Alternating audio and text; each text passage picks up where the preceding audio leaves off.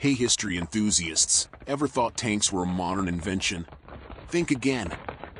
Meet the war elephants, the original battlefield juggernauts.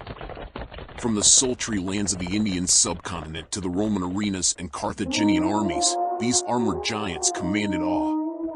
Used by legendary figures like Hannibal and Alexander the Great, they sported armor and a howdah, a specialized tower that housed archers or even small artillery. They were the psychological nukes of their time, causing unparalleled chaos and breaking enemy formations. But watch out, spooked elephants could easily turn on their own troops, adding an unpredictable edge to battles.